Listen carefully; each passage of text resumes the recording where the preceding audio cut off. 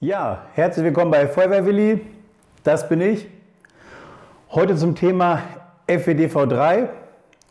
Äh, Hintergrund ist, eine Kameradin hat gefragt, es ging um technische Hilfeleistung, wer da was macht.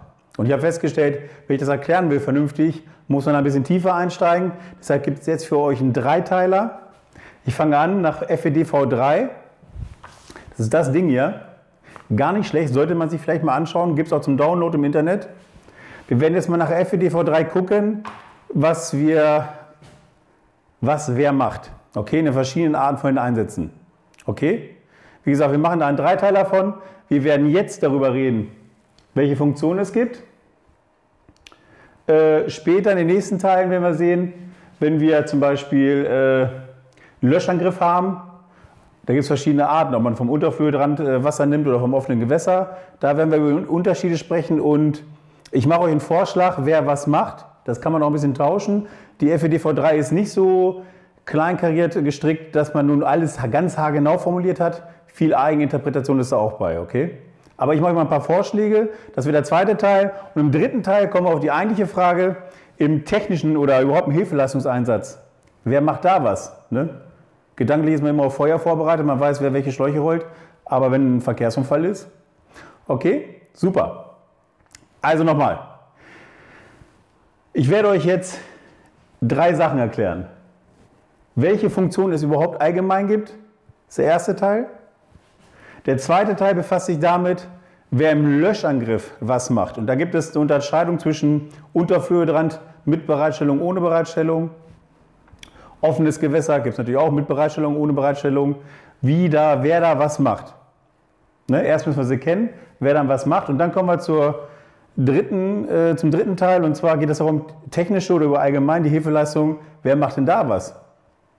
Da ist nämlich nicht viel mit Schläuche rollen, oder doch? Okay? Alles klar. Würde ich sagen, fangen wir an. Jetzt mit dem ersten Teil. Welche Funktion gibt es nach der Feuerwehrdienstvorschrift 3? Okay? Und hier oben ist nochmal, steht nochmal FEDV 3, ne? Feuerwehrdienstvorschrift 3. Okay, los geht's. Damit wir auch das vom Gleichen reden, schauen wir uns erstmal an. Ein Kamerad oder eine Kameradin sieht ungefähr so aus. Okay.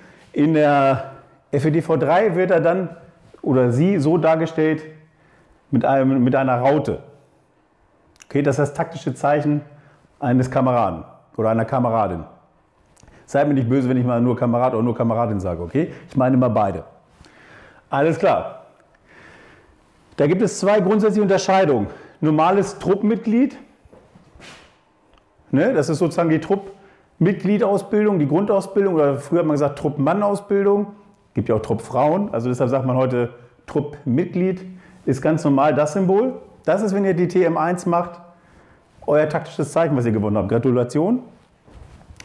Ein Truppführer hat dieses schwarze Dreieck oben ausgemalt. Daran erkennt man den Führer. Okay? Diese Truppführer, dafür gibt es auch extra eine spezielle Ausbilder, äh, Ausbildung. Truppführer, Truppführerin natürlich auch. Ne? Grundsätzlich, wenn wir später von Tätigkeiten sprechen, ist hier immer so, je höher der Dienstgrad, desto weniger praktisch macht er, desto weniger Schläuche rollt er. Das heißt, wenn es Aufgaben gibt zwischen den Beinen, äh, wenn es eins mit viel Arbeit zusammenhängt, macht es meistens das Truppmitglied. Sorry.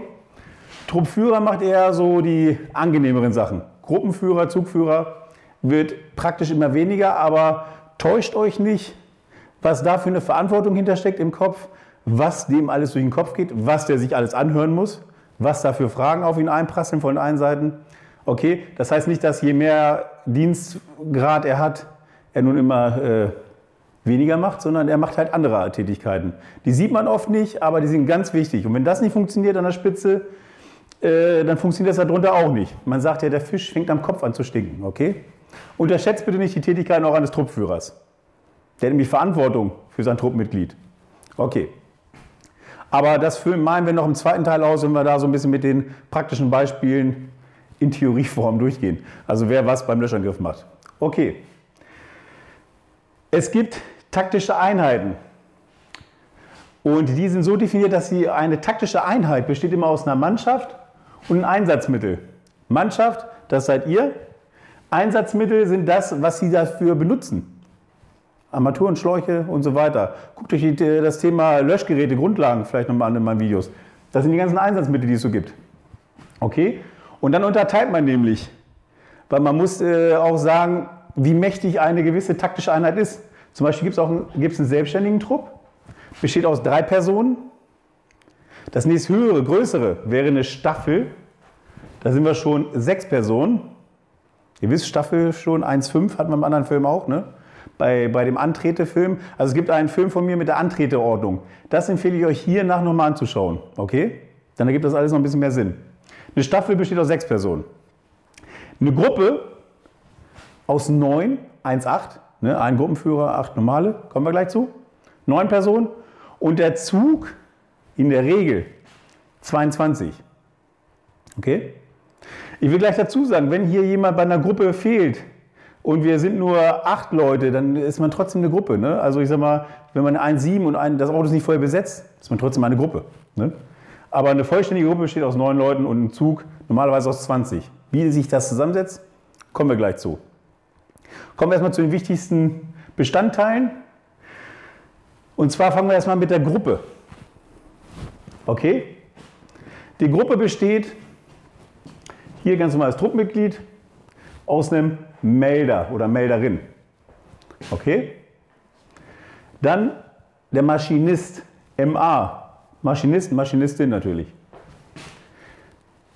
Dann gibt es einen Angriffstrupp. Ich weiß nicht, ob man das A richtig gut erkennt. Hier ist ein A in der Mitte. A, A. Und man sieht vielleicht schon, dass hier das Dach wieder ausgemalt ist. Die Spitze ist nämlich der Angriffstrupp Führer oder Führerin.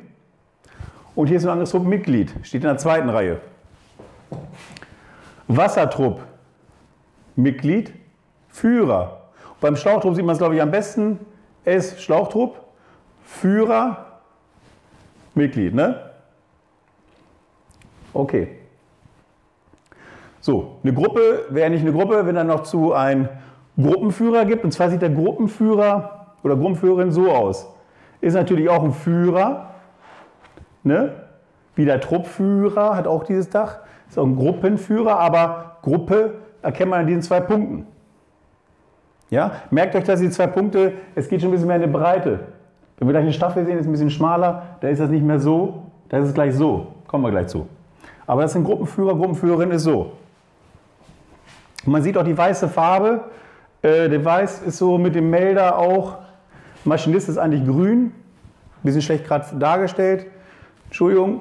Äh, also Melder und Gruppenführer sind auch so eine Einheit auch im Einsatzfall. Ne? Der Melder unterstützt nämlich den Gruppenführer. Okay.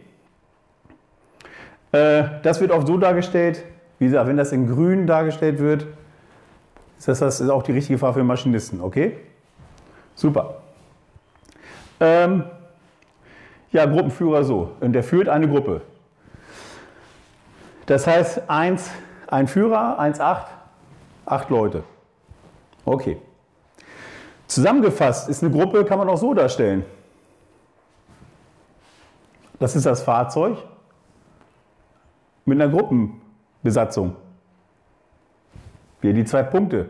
Geh nochmal zurück. Diese zwei Punkte vom Gruppenführersymbol finden wir jetzt wieder über dem Fahrzeug. Und hier sieht man auch so eine klassische Bezeichnung 189 Ö. Was heißt das denn? Ein Gruppenführer Acht fleißige Helfer macht insgesamt, ist unterstrichen, neun Leute. 1 plus 8 gleich 9. Ganz einfach, ne? Kommen wir zu der kleineren Geschichte und zwar, das ist dann die Staffel. Typisches Fahrzeug ist ein TSF, ne? ist ein Fahrzeug mit Staffelbesatzung.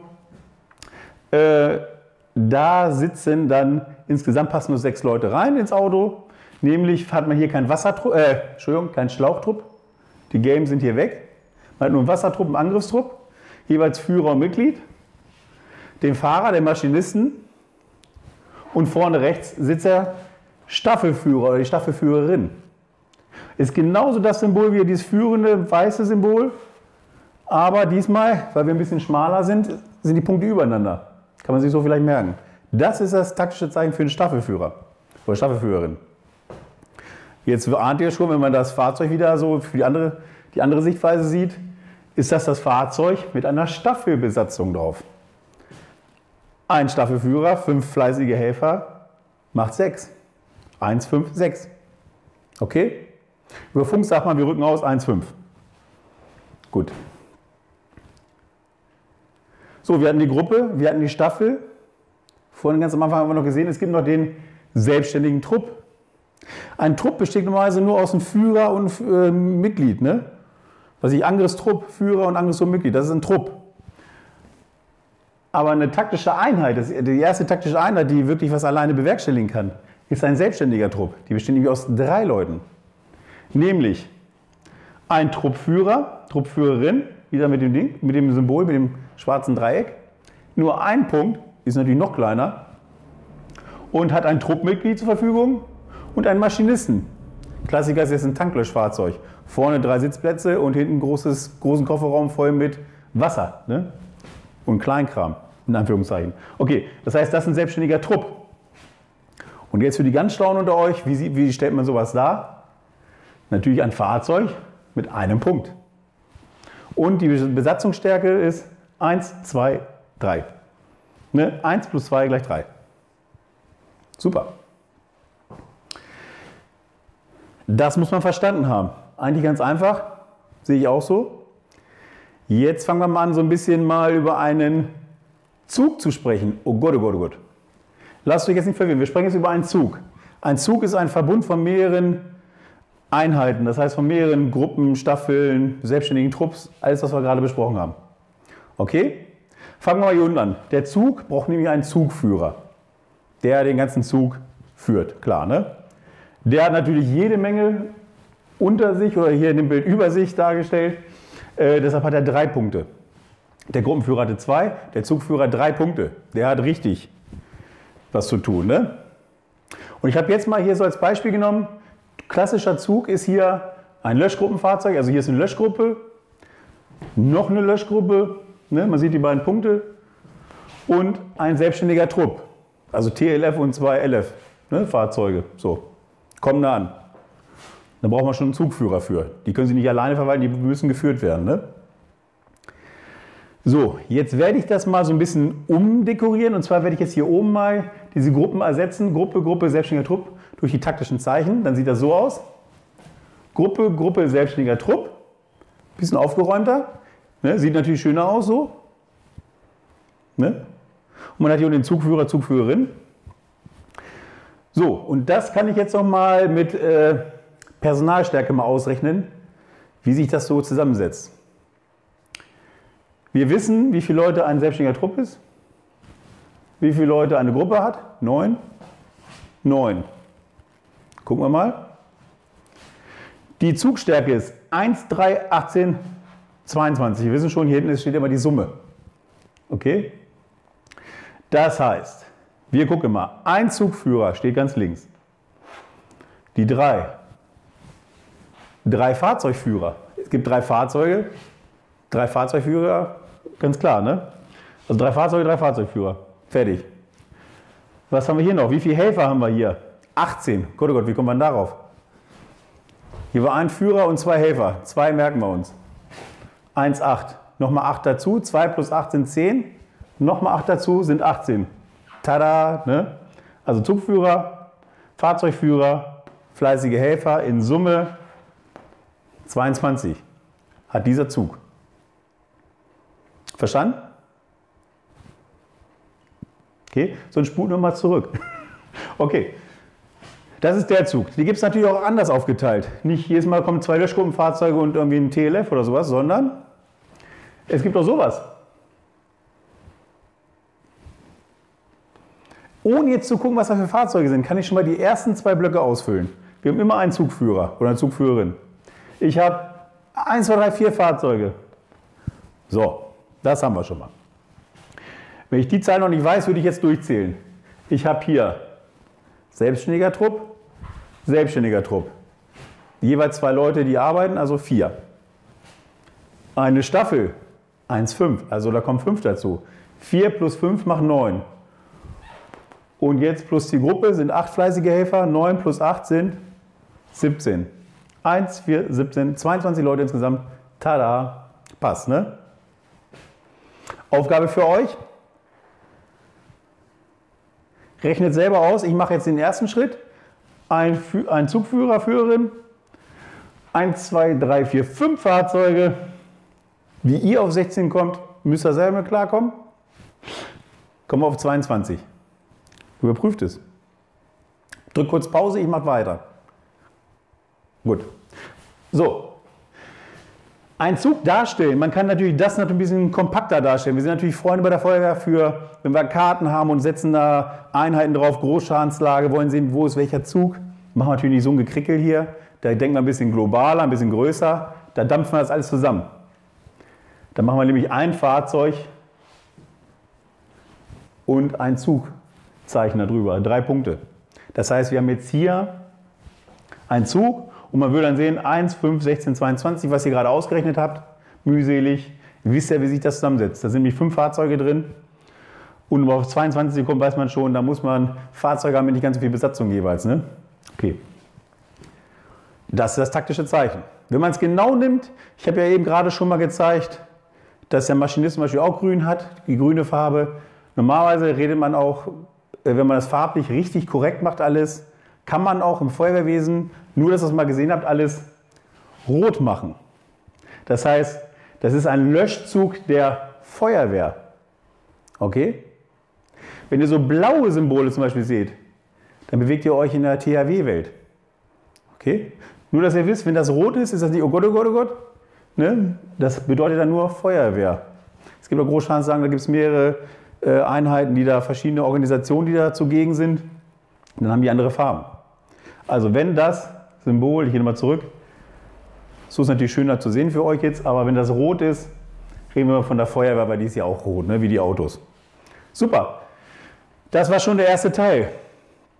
Ja, schaut euch jetzt mal die Sitzordnung an, die blende ich euch da oben ein. Und wenn ihr mich abonniert, würde ich mich richtig freuen. Kommen wir gleich zum zweiten Teil äh, und schaut euch nochmal die Sitzordnung an, würde ich euch empfehlen. Ne, dann habt ihr alles perfekt beisammen. Und die FEDV 3 ist kein Geheimnis, kann jeder reingucken. Alles klar. Euer Feuerwehrwilli. Bis dann.